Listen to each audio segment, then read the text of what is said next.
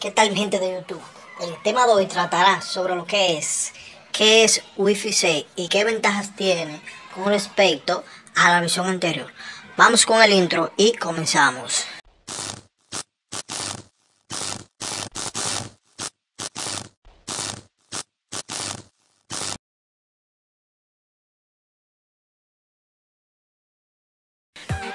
Hoy veremos que Wi-Fi 6 el último estándar de la conectividad Wi-Fi que empezaremos a ver cada vez más y más dispositivos y router ahora que Wi-Fi Alliance ha abierto su programa de certificaciones oficiales. Wi-Fi 6 era anteriormente conocido como Wi-Fi 8.211AX, pero recientemente la Wi-Fi Alliance decidió cambiar las numeraciones de las versiones por un método más legible. Veremos cuáles son las principales características de Wi-Fi 6 y en qué diferencia de su predecesor Wi-Fi 5 antes llamado Wi-Fi AC. ¿Por qué 6? Uno de los aspectos que más pueden confundir al hablar de Wi-Fi 6 es precisamente su nombre. Al fin y al cabo, cuando algo va por versión 6, se espera que existan las versiones anteriores.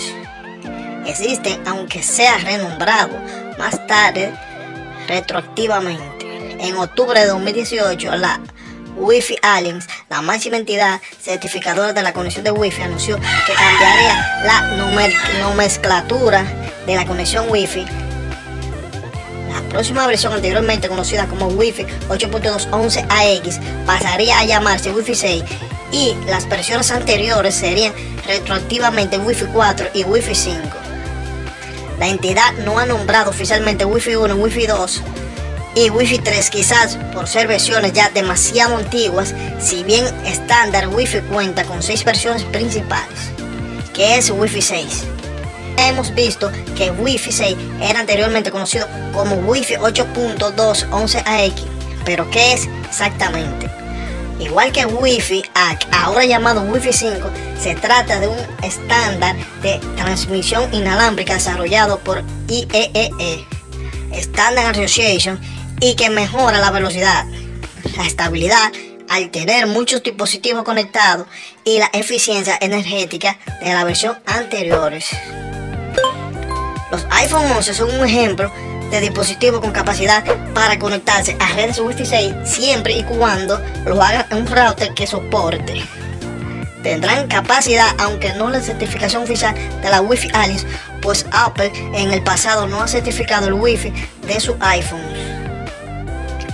El primer móvil en recibir la certificación Wi-Fi 6 será el Samsung Galaxy Note 10. En el futuro cada vez más y más dispositivos y routers incluirán la conectividad Wi-Fi 6. Ventajas de Wi-Fi 6 con respecto a Wi-Fi 5. En cuanto a las ventajas de Wi-Fi 6 con respecto a las versiones anteriores, son principalmente tres. Una, mayor velocidad. Un mejor funcionamiento cuando hay muchos dispositivos conectados. Mejor eficiencia energética. Una red más rápida. Un cambio habitual en cada nueva versión de estándar de Wi-Fi es en la velocidad máxima, teoría de transmisión de datos. Wi-Fi 6 no es una excepción, subiendo de los 6,9 GB por segundo teóricos de Wi-Fi 5 hasta los 9.6 GB de Wi-Fi 6. Por tanto, en torno al 40% más rápido de la versión anterior, al menos en las condiciones ideales. La latencia se reduce en torno al 75%. Además, Wi-Fi 6 puede operar tanto en la frecuencia de 2.4 GHz como en la de los 5 GHz, a diferencia de la Wi-Fi 5 que lo hacía de forma exclusiva en los 5 GHz. Las versiones anteriores podían conectarse tanto en red de Wi-Fi de 2.4 como de 5 GHz, pero bajo el antiguo estándar 8.211n, ahora llamado Wi-Fi 4. Mejor preparada para muchos dispositivos. Es un hecho que cada vez hay dispositivos conectados a internet móvil, tablet, televisores, consolas. Y Wi-Fi 6 cuenta con distintas mejoras enfocadas en mejorar el rendimiento y reducir las interferencias en el tipo de situaciones.